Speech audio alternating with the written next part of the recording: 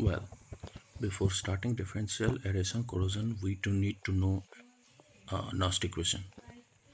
So from the Nernst equation, uh, we can see that uh, we have E equals to E naught minus 2.303 RT upon NF log A upon C. A means anodic part and C is the cathodic part. If E is 0, if E naught is 0, then we have E equals to minus 2.303 RT upon NF log A upon C. So this EMF this EMF is going to be positive only when cathodic concentration is greater than anodic. In that case A upon C is less than 1. So log less than 1 is equal to negative. So negative into negative is going to be positive. So EMF is going to be positive only when cathodic part have more concentration than that of the anodic part. Right?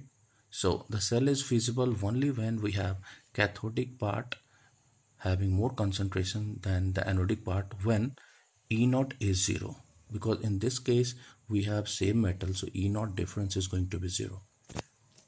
So so when metal is i mean when metal is half immersed in uh, water and half of the part is above water. So from where we can see that the part which is immersed in water is surrounded by less number of oxygen. Why? Because inside water the solubility of oxygen is less. And the part which is above the water is surrounded by more number of oxygen because it's already in war i mean atmosphere is there. So by looking at this formula we can see that the part which is immersed in water which is surrounded by less oxygen and this is what surrounded by more oxygen so this part is going to be cathodic.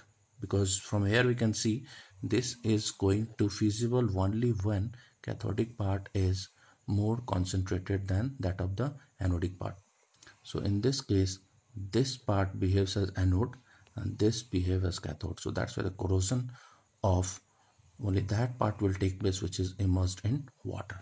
So this kind of corrosion is called differential aeration corrosion and also called concentration cell corrosion. And uh, where i mean this is what applicable in all those ships which are inside the sea because some of the parts of the ship which is made up of iron is immersed in water and some of the parts are above the water. So those parts which are inside the water behave as anode and the corrosion of only that part takes place